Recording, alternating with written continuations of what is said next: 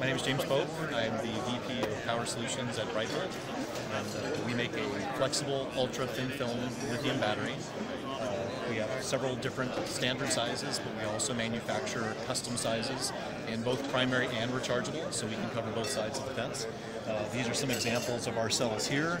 Uh, examples for uh, products like smart cards, uh, sensors, medical patches where you have to have some level of flexibility. that, the, cells are actually flexible. So in designing products where flexibility is a concern, we can address that where the more conventional lithium products can't.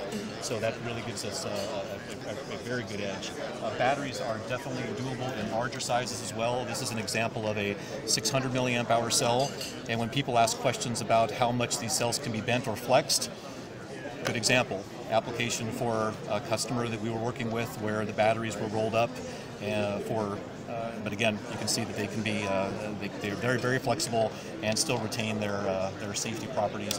Very safe battery um, batteries as you can see here on the wall nails being put through them batteries being rolled up uh, beat with a hammer we have several videos showing how flexible how, how durable these batteries are um, just recently, our PME technology, our polymer matrix electrode, won an award.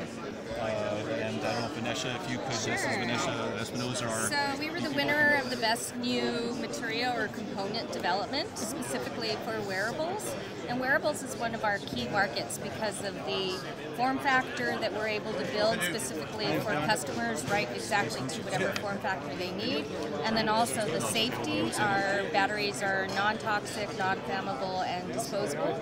And then also the flexibility. So we're um, thinking that wearables is a very strong market for us, and we're also very pleased to be awarded uh, the winner of Best New Materials for Wearables this year at IDTech 2016.